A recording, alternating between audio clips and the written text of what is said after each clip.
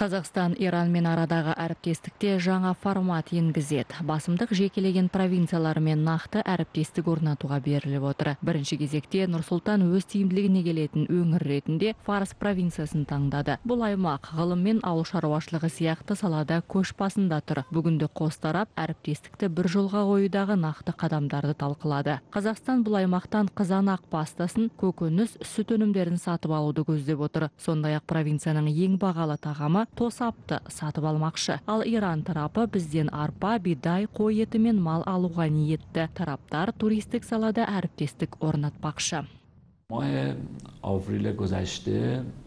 фарс провинциясының орталығы шираз қаласы туристік салада. Пасаргат персеполис сияқты мыңжылдық тарихымен қонақжайлылығымен танылған әлемнің ең ірі қалаларының бірі. Бұл қазақстандық туристер үшін сөзсіз қызықты болады. Шираздың қолайлы ауа райы мен көрікті қала аймағы. Бұлар туризмнің тек бір түрі. Иранда мұнымен қатар медициналық туризм де танымал.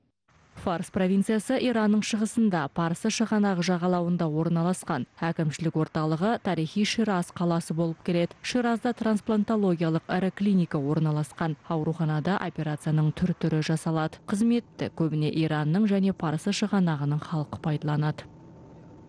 در میان کشورهای همسایه دریای خزر اهمیت بسزایی پیدا کرد. жалпы алғанда қазақстанға фарс провинциясынан медицина сияқты ғылыми инженерлік салада да әріптестік орнату қызықты болады жоғары білікті мамандар мен студенттермен тәжірибе алмасу да ұтымды иран мен қазақстан әрі пайдалы қазбалар саласында да әріптестік орнатуы ықтимал که پس از فروپاشی اتحاد جماهیر شوروی در سال 1991 ынтымақтастықтың тағы бір басым бағыты көлік қатынасы. Солтүстік пен оңтүстікті байланыстыратын шойын жолдың көмегімен қазақстан өз өнімін парсы шығанағындағы аймақтарға жеткізіп береді. Ал ынтымақтастықтың бағыттары нақты қай салада басымдыққа ие болатыны маусым айында қазақстандық делегацияның фарс провинциясына жасайтын сапары барысында белгілі болады.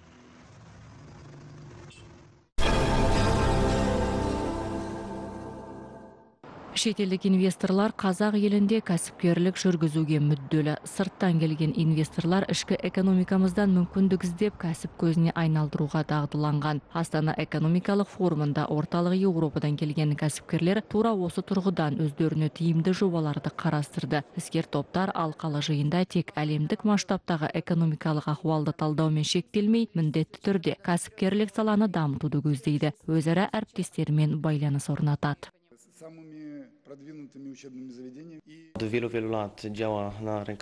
Біздің агенттік жылда астана экономикалық форумына қатысады. Дәл осы алаңда біз инвестициялық қорларды іздеп іскерлік бағыттағы әріптестерімізді әр елдерден табамыз. Орталық азияда қазақстанның болашағы жарқын болады деп сенемін. Форум өзара тиімді алаңға айналды. Сіздердің елдеріңіз адами капиталмен ғана қызықтырып қоймайды. Географиялық орналасу тұрғысынан да тиімді деп ойлаймын. Мәселен швейцария сандық техника жүйесін сіздердегі астана халықаралық қаржы орталығы арқылы іске асырғысы келеді. Осы форум аясында қазақстанмен бірлесіп еуропа мен азия арасында жаңа электронды валюта жобасын қолға алуға мүдделіміз. Ол кеден қызметінің кедергісінсіз сауда операцияларын электронды жүргізуге себеп болады. Әлбетте ондай жоба сіздерге де бізге де тиімді. Is paramount for us. That's why we want to base part of activity here in Kazakhstan. Қазақстанда шетелдік іскерлер үшін қолайлы жағдайлар жасалған. Жаһандық инвестициялар жөніндегі дөңгелек үстелге қатысқан мыңнан аса сарапшы мен әлемнің қырық елінен жиналған бизнесмендердің ортақ пікірі осындай. Ең алдымен шетелдік іскерлерді елімізде капитал салымдарының қауіпсіздігін қамтамасыз ететін кепілдіктер заңнаманың экономика мен саясаттың тұрақтылығы қызықтырады. Қаржы бағыттауға аса тиімді салалардың қатарында кәсіпкерлер тағам және агроөнеркәсіп көлік және логистика IT технологиялар және құрылыс секторларын атайды олар қазақстанның дәл осы салаларын дамытуға қаржы құюға дайын Investment has been and continues to be a fundamental factor in the growth and development of our economy. Инвестиция ел экономикасы дамуының маңызды құралы. Тәуелсіздік жылдары ішінде қазақстанға 300 миллиард теңгеден аса қаржы тартылды. 2018 жылы орталық азияға бағытталған тікелей инвестициялардың 24 миллиард теңгесі қазақстан экономикасына құйылды. Негізгі капиталға инвестициялардың көлемі өсіп келеді. Осы орайда нью йорк лондон шанхай қаржы институттарының ең озық тәжірибесін ендірген астана халықаралық қаржы орталығының қызметін атап өту қажет. Practices by leading international financial institutions in New York, London, Shanghai. Will play the foremost role in attracting a new wave of FDI. құны бір миллиард доллардан асатын орталық азиядағы ең ірі инвест жоба түркістан облысында жүзіге асатын болады. Онда жалпы аумағы 500 гектарға жуық жылыжай кешені бой көтереді. Қаржы ресейлік компаниядан. Мы благодарны э, правительству. Э, Казахстана за всемирную поддержку. осы инвестициялық жобаларды іске асыруда қолдау көрсеткен қазақстан үкіметіне алғыс айтамыз қазір инфрақұрылым тартылып жатыр көрсетілген көмектің арқасында инвестициялық бюджетіміз қысқарып салған қаржыны қайтару мерзімінде азаяды делает наши проекты более привлекательными и э, с меньшим сроком возврата инвестиций. Жаһандық инвестициялар тақырыбына арналған жыл сайынғы кездесуде құны 9 миллиард доллардың 45 құжатына қол қойылды. Түркия германия ақш сингапур араб әмірліктері корея және шекаралас елдердің компанияларымен келісімдер жасалды.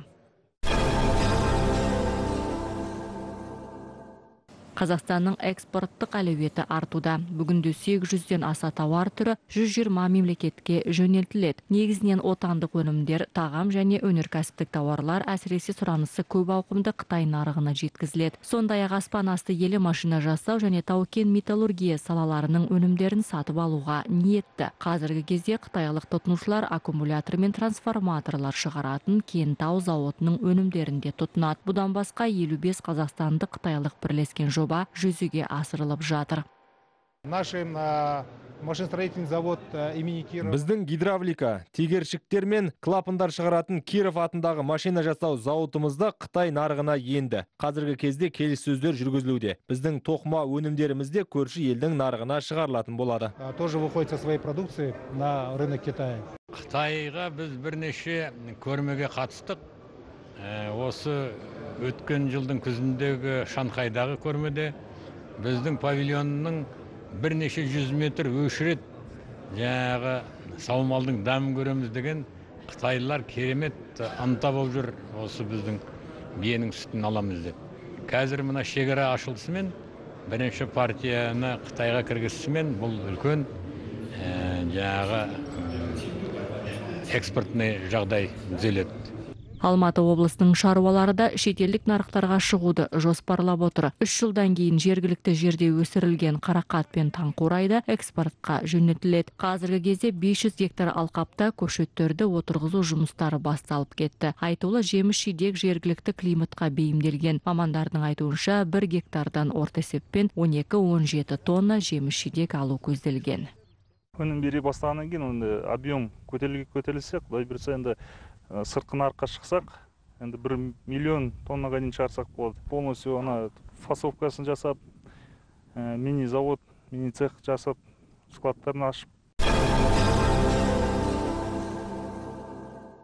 Лондонда британ қазақ қоғамының мүшелері жергілікті жұртшылық жаһандық дәліз деп жиі атайтын орталық азияның көлік транзиттік әлеуетін талқылады. Бүгінде қазақстан мен біріккен корольдік мұнай газ тау кен қаржы және білім беру салалары бойынша байланыс орнатқан. Ұлыбритания қазақстанның ең ірі сауда әріптестерінің ондығына кірсе сондай ақ ірі инвесторларының бірі саналады. Соңғы 13 жылдың ішінде ұлыбританиядан ағылған тікелей инвестиция көлемі 13 миллиард ақш долларынан асып жығылды.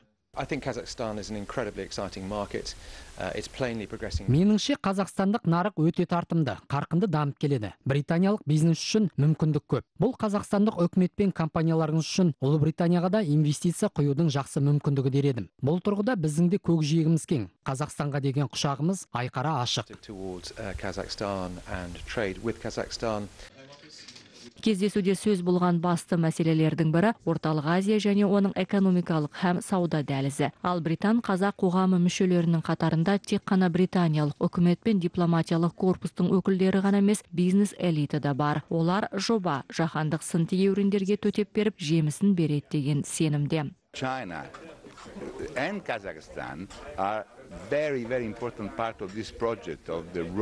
Қытай мен қазақстан бір белдеу бір жол жобасының маңызды қатысушылары. Италияда біз мұны жібек жолы деп атаймыз. Итальяндық ретінде бастама аясында италияның алғашқы болып әріптестік орнатқанын мақтан тұтамын жоба сапа тұрғысынан дамып халықтың әл ауқатына дем беріп нәтижелі болады деп сенемін. Future of trade in the world, starting from Central Asia and having ramifications in all the world. Алдағы айда британ қазақ қоғамының мүшелері каспий келісіміне байланысты шара өткізуді жоспарлап отыр. Тараптар осы құжаттың мүмкіндіктері мен келешегіне қатысты мәселелерді талқыламақ.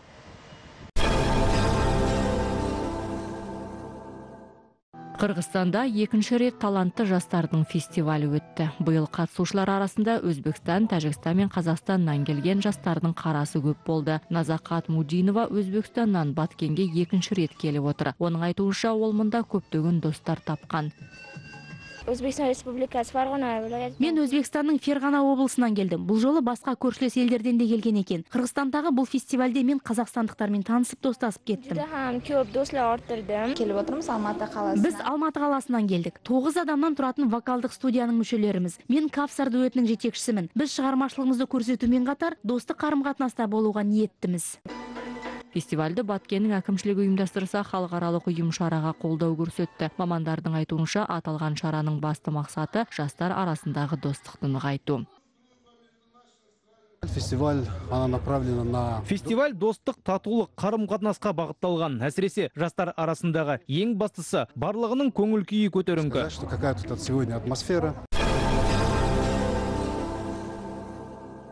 Қостанайда Қазақстан Ресей жастарының алтыншы форумы өтуде. Басты тақырып еріктілер қозғалысы. Әріптестерімен өз тәжірибесімен бөлісуге еліміздің барлық өңірлерінен мыңнан астам белсенді жастар жиналды. Олардың арасында Батыс Қазақстан облысының өкілдері де бар. Если сейчас по Западному Казахстану 50 егер батыс қазақстан облысы бойынша елу мың жастар өкілі болса соның 20-25 мыңы батыс қазақстан облысындағы еріктілер қозғалысына қандай да бір қатысы бар Бұл форум халықаралық мәртебеге ие. Қостанайға Ресей Федерациясының шекаралас аймақтарының белсенділері келді. Ерікті дәрігерлер, эко-еріктілер, корпоративтік еріктілерге қатысушылар және қарапайым еріктілер.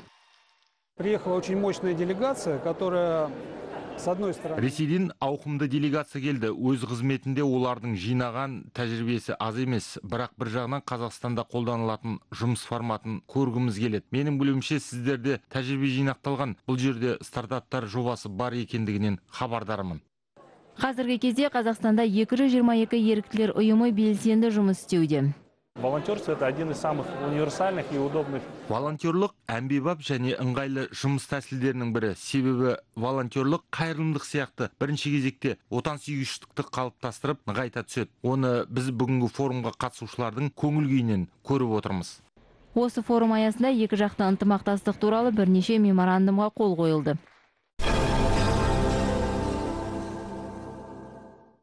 Он мемлекеттің жетекші түркологтары Парижде ұлы дала, мәдени мұра және әлем тарихындағы рөлі форумында бас қосты. Шараны халықаралық түркі академиясы мен ЮНЕСКО ұйымдастырды. Қазақстандық делегация шараға қатысушыларды тұңғыш президенттің ұлы даланың жеті қыры мақаласымен таныстырды. Сондай-ақ ата бабаларымыздың тарихи мәдени мұрасы туралы айтып берді. Түркологтар жалпы көшпелі халық ашқан жаңалықтардың бүкіл адамзат үшін маңыздылығын атап өтті. Ұлы даланың жалпы адамзатқа берер мүмкіндіктерін көрсететін барлық ғылым түрлерін дамыту үшін қанша күш жұмсау керек екенін уақыт өткен сайын түсініп келеміз. Бұл шын мәнісінде қызықты әрі тартымды дүние. Сол себепті барлығымызда осы ұлы дала тарихына асқан қызығушылықпен терең бойлағымыз келеді. Ту ассау жылқыны қолға үйрету, көні металлургия, ерте мемлекет құры, ұлы дала өркениеті секілді бабалардан қалған дүниелерді тізбектеп жеткізу мүмкін емес. Ғалымдардың айтуынша, көшпенді халық ғажайып мәдениеттің таралуына еңбек етті. ЮНЕСКОның қолдауымен түркологтардың бас қосып келелі кеңес құруы адамзатқа тарихтың тасасында қалған жаңа беттерді ашуына жағдай туғызды. Nous sommes très heureux d'accueillir ce forum ici et surtout de faire découvrir Біз бұл форумды дәл осы ЮНЕСКО-да қабылдап жатқанымызға бақыттымыз. Әсіресе ұлы даланың біздің өркениеттің маңызды бөлігін құрайтынын, оның біз білуге тиіс өте бай мәдени кеңістігін тек аймақ тұрғындарына ғана емес, күллі әлемге паш етуіміз өте құптарлығыз. Оған ЮНЕСКО өз жобаларында қашанда көңіл аударады. Сол себепті біз үшін осы форумды өткізу үлкен мәртебе, асқан ғанибет. ғалымдардың пайымдауынша 21 ғасырдағы түркі әлемі үлкен өзектілікке ие болды. Сондықтан елдер арасындағы өзара қарым қатынастың көкжиегін кеңейтіп тәжірибе алмаса отырып ауқымды ғылыми зерттеулерді қолға алу керек. Бұл біздің енді юнеско-дағы әріптестігімізді нығайтады деп ойлаймыз. Болашақта осы ғылыми байланыстар тұрақты жүйелі түрде ынтымақтастыққа айналады деген үмітіміз бар. Сонымен қатар юнеско-ның адамзаттық мәдениетті мына қорғау жөніндегі ең мәртебелі ұйымның бұндай тақырыптарға назар аударып отырғаны біздің мәдениетімізді өркениетімізді насихаттау үшін де жақсы мінбер ғой деп ойлаймын. Форум аясында жетекші ғалымдар еңбегімен еленген мамандар түркология саласындағы ынтымақтастықты нығайтуға халықтар арасындағы мәдени байланыстарды тереңдетуге қосқан үлестері үшін арнайы алтын медальдармен марапатталды. Ғалымдар өз кезегінде түркі тарихындағы атаулы даталарды халықаралық деңгейде атап өтуді ұсынды. Мысалы жақында орхон енисей жазбалары тарихи мәдени ескерткішіне бір жарым мың жыл толады.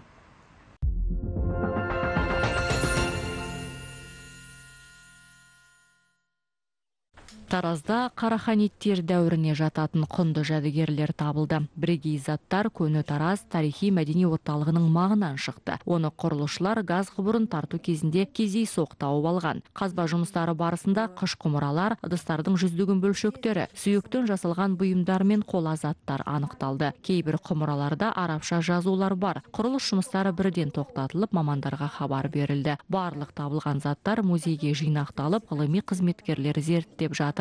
Археолог ғалымдар табылған тарихи дүниелер орта ғасырлардағы көне тараз жайында жаңа деректерді ашуға мүмкіндік береді деп отыр. Жәдігерлердің бүтіндей табылуы солысы ерекше болып тұр. он бірінші он екінші ғасырларға шыдап қараханит дәуірі тараз қаласының ең көркейген дамыған кезіндегі жәдігерлер болып есептеледі. Және жәдігерлердің жасалу әдісімен және олардың бетіндегі түстеріне сосын сырланған бейнелеріне салынған өрнектеріне назар аударсаңыздар сол кездегі қолөнер шеберлердің шеберлігінің өте жоғары деңгейде болған үлгісі болып саналады. Вот такие вот артефакты которые пролежали. Жер астында көптеген ғасырлар бойы мыңдаған жылдар бойы сақталған артефактілерді одан әрі зерттей түсу керек. Бұл жәдігерлер осы күнге дейін құпия саналып келген мәліметтерге түсінік беруі де мүмкін. Барлық сертификаттаудан және тиісті рәсімдерден кейін қалпына келтіруден соң көне тараз археологиялық паркінің экспозициясында орын алады. Экспозиции археологического парка көне тараз.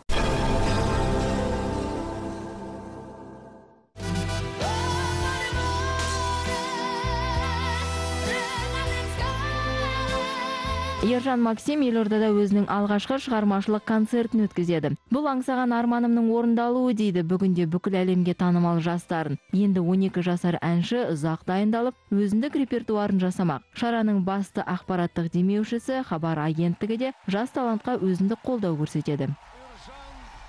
Совместно с телеканалом хабар. Телеарнасымен бірге 28 маусымда сағат 19.00-де баршаңызды орталық концерт залында өтетін ержан максимнің алғашқы жеке концертіне шақырамыз. Концерт ержан максим. Жаңа композициялардан басқа ержан максим тыңдармандар назарына муслим магомаевтың әйгілі синяя вечность және лара фабианның әндерін ұсынады. Соңғы әнді ержан ресейлік шоудың соңғы турында орындаған болатын. Жұлдызы жанған жас әншінің нұр сұлтандағы концерті эстрадалық симфониялық оркестрдің сүйемелдеуімен өтеді. Ұйымдастырушылардың айтуынша сахнада қазақстандық эстрадалық вокалдық дуэттер мен триоларда өнер көрсетпек. Үлкен толқудамыз қобалжудамыз бұл ең алғашқы ержанның осы елордада берендеп тұрған алғашқы концерті. Ержан жеті жасында да орал қаласында қайырымдылық ретінде концертін беріп өткен болатын кішкентай болса да орал қаласында. Сонымен қатар ержанды қолдаушылар назарына оның шығармашылығы жайлы деректі фильм ұсынылады. Қазір оның түсірілімі басталып кетті. Картина қазақ орыс және ағылшын тілдерінде көрсетіледі өмір жолына арнап үлкен бір деректі фильм түсіруді жоспарлап отырмыз. Осыған дейін де балалар евровидениесі ауқымында оралға барып біздің түсіру топтары біраз түсірілім жұмыстарын жүргізген. Мәскеудегі тілшіміз бар осындағы шығармашылық ұжым деректі фильм түсіруге кірісіп бастады. Халықаралық байқаулар шығармашылығыңды арттыруға септігін тигізеді. Сондай ақ байланыс аясын кеңейтеді дейді ержан. Айта кетейік ресейдегі вокалдық байқаудан кейін белгілі композитор әрі продюсер игорь крутой жас дарынды музыкалық академияда білім алуға шақырды.